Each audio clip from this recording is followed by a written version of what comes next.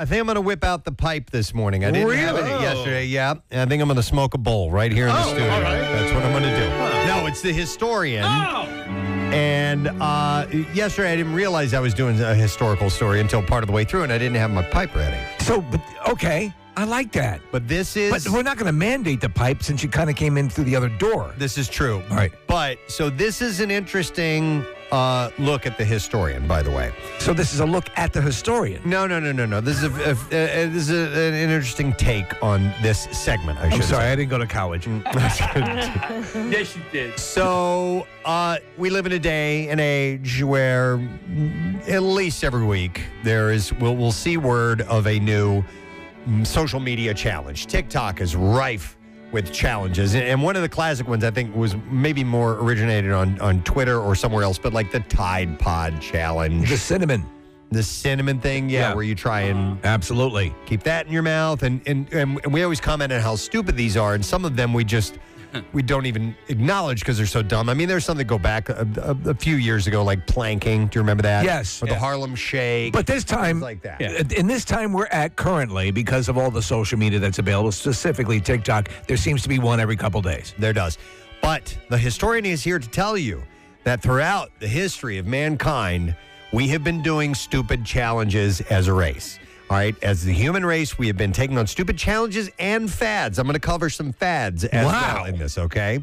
Uh, So Is this going to be on the test? Uh, it may be on the right. test. I would All pay right. attention. I would take notes if I were you. So we'll begin with some that you've probably heard of before, like the goldfish challenge. That's a classic. Whenever you, uh, from the 50s, I think of the goldfish challenge. Talking about swallowing a goldfish. Right, swallowing a goldfish. yes. Oh. You So ever the- know anybody that swallowed a goldfish? I do. I Me have. too. Yeah. Yeah. You I- sw- you sw- actually swallowed one. Uh huh. Yeah, it was uh, not a proud moment, but Was it it was a college? college moment, and Okay. uh, I, I was one of two people in the room who did it, and it was uh, we bought those goldfish specifically to do the goldfish Oh challenge. Oh my goodness. Well, the goldfish trend actually had, they know exactly who started it. It started at Harvard University at college in 1939 when freshman Lothrop Withington. Lothrop. Yes. Lothrop, what are you doing with that fish? Fluffy. Well, oh, this is ridiculous. I hope you don't do that to the dog. he bragged to his friends that he once swallowed a live fish. Lothrop?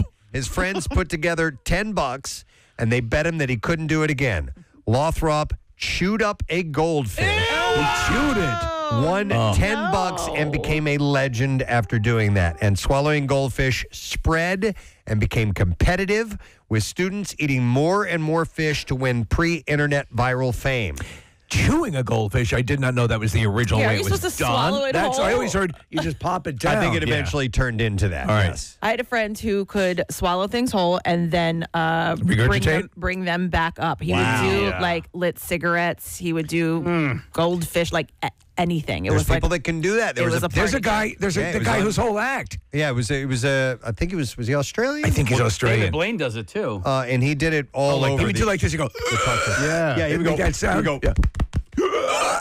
And he would, did you ever see that? Weird. I feel like I have. I he feel would like I take have. like a miniature Rubik's cube. Yeah. Yeah. It's completely solved. Throw it in his stomach and then mix it up. He did light bulbs and stuff. and then he would he would Light kick it back bulbs. up. But, he but would mix it up. yeah, yeah, Yeah. He he had incredible Wait. control of his Did- stomach. Did, we have him in studio, or am I misremembering? No, we did not. No, I, I don't. I absolutely would have. this guy that. was big in like um I re- he was on Letterman a lot. and- exactly. Yeah, yeah. He was in Uh, so anyhow, uh, the swallowing goldfish spread, and uh, the hopefully never to be broken record belongs to Clark University's Joseph Deliberato. He ate 89 fish in one sitting. Oh. Uh, the trend is not practiced widely these days, but it never fully died. Uh, you can check out YouTube for evidence. You know, it's funny. That. Like I'm, I'm recoiling, and I'm like, I must have eaten 60 pounds of salmon in the. Yeah, I know. we eat fish as human beings. Okay, so this one is uh, macaroni, but it's not about the food. You know the line in Yankee Doodle Dandy Yes. about sticking a feather in your hat and calling it macaroni. Uh, it's not about a noodle. It's a reference to a dumb but awesome trend popular among proto-metrosexuals in the 18th century England. Uh, did we ever establish what that exact lyric means? Stick a feather in your cap and call it macaroni. This will explain. All it. right. Okay. So at the time, macaroni was an exotic dish in England, and eating it was seen as the mark of a well traveled person.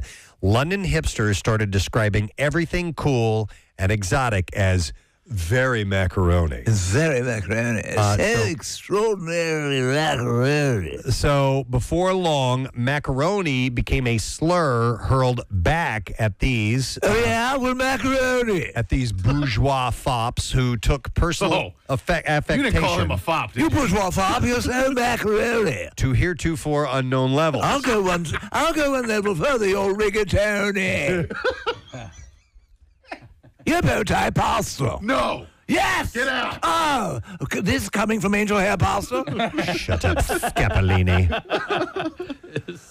uh, macaronis might you have bow tie pasta fop. so so. How dare you? So that is absolutely beyond the pale. The whole thing is is actually fete bourgeois fop. As- And as- effete? Effete. So uh, here's what they would say: macaronis were, were known uh, as basically people who were wearing. They were kind of like glams. Okay, so a macaroni might have a gigantic wig featuring ringlets tied in ribbons flowing out from a tiny hat adorned with roses. Somebody you see on RuPaul's Drag Race now. They had diamond buckles on their shoes and wore rings over their expensive gloves. And they I carried around opera glasses, wore perfume, and spent their lives gambling and hanging out looking weird. So, but it was a it was a, it was a trend for a while. So to be this macaroni. almost seems like uh, the the counterculture of the time. Like in other words, there it's almost a mockery of Yes. the uh, upper class. uh, kind of like that. Right? Well, they just took their they they were I think the upper class. Oh, they were okay. So was it was it Yeah, them that's a good mocking question. them own? Maybe, maybe their, they were their try- own. Maybe they were trying to be. No, wait, hang on a second. Um, You think they were like hipsters? I think that's what it is. Okay. Um, so anyhow, the the pick, you know, uh, stuck a feather in his hat and called it macaroni is someone pretending to be, I got you. you know, uh, uh, hey, baked ziti face. over the top. So, uh, ma- it says here, uh, macaroni ba- macaronis were baller, and all 1700s macaroni haters should step off. Oh, wow. Step off. That's what it says. Don't you dare come up in my grill.